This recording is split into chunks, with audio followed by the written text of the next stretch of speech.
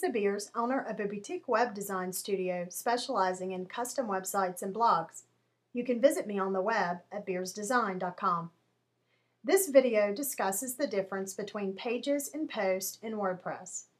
Each of my training videos are designed for novice users and are broken down into small, simple segments. Let's get started. So I have open here my training demo site, and this is the home page that I have set up.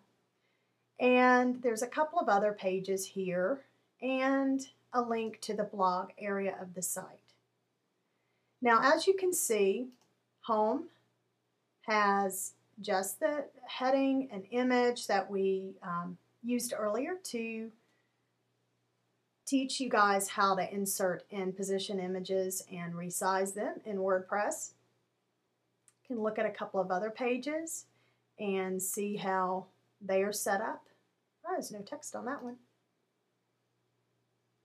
Now, as you notice, when I click these, they look pretty much like regular web pages. It looks um, like a quite traditional website.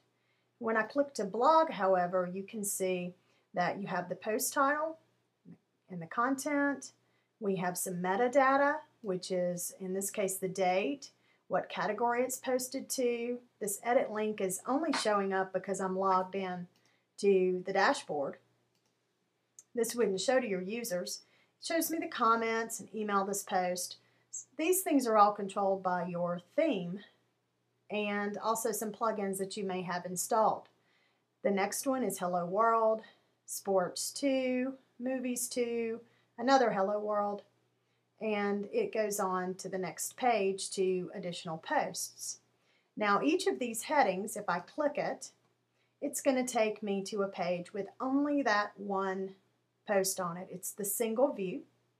And here there's an opportunity for related posts to show.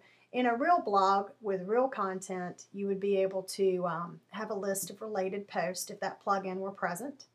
And there's also an area where people can comment and leave comments.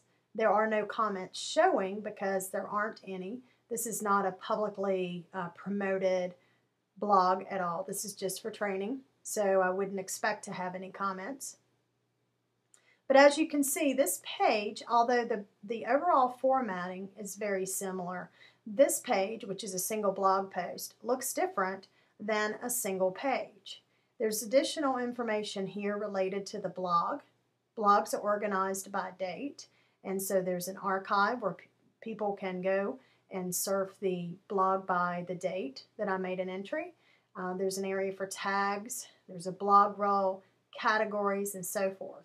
Now going back to the home page, you'll notice that all of these options are not available. There's some additional information in the sidebar and there's some information here that's directly related to the blog, such as categories and archives, that's not showing on the pages. Now this is a function of my theme that I have created for to power my website, beersdesign.com. So based on the theme, your sidebar may be the same. I wanted to use this theme for example because of the fact that in most cases, a lot of my clients would like to have a website and a blog, and they want them to match, and they want to be able to easily update their website or their blog, and they want to be able to do it all in one place um, and not have to learn a lot of, um, you know, multiple platforms and multiple uh, ways of managing. That way they have one central location to uh, create, edit their pages, and also post to their blog.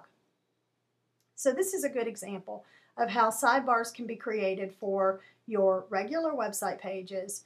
And then also, in addition to that, we can also put into the theme uh, the elements in the blog area that you would expect to find in a blog. So we're going to talk about the difference between pages and post. Basically, the main difference is simply how it looks on the front end to your user. It's nice to have this kind of visual separation. I've done some sites that uh, have quite a bit of difference between the look of their, their website and their blog. And if you notice, there's no comments here. There could be comments on pages, but Most people want their website area of their site to look more traditional and not to look like a blog. So as you can see, this has been achieved with this theme that I created.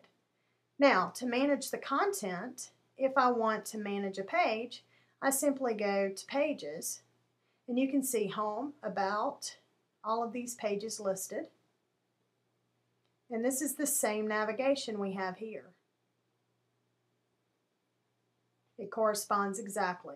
So if I wanted to edit my home page, I would just click Edit, and I would edit my home page. You can see the contents here are the same as what you find here.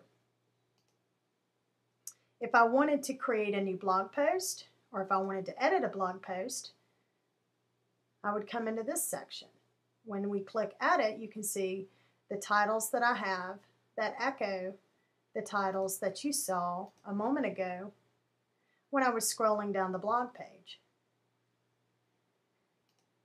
The editor works exactly the same in WordPress for pages and for posts.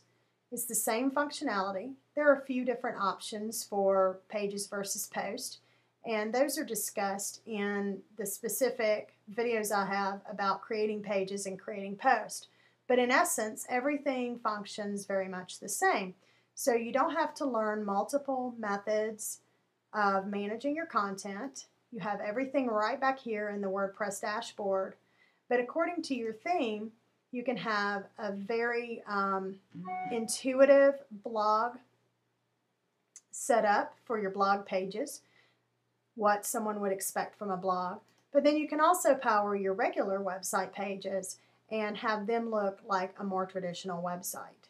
So as you see, WordPress is actually a very excellent content management system that's highly customizable and extremely easy to use. So that's it for this segment. I hope it's helped you understand the differences between Pages and posts and what's possible using WordPress. As a client, you can gain access to additional training videos on more advanced features of WordPress. If you're interested in a custom website or WordPress blog theme, please visit my site at beersdesign.com. Thank you for watching and have a great day.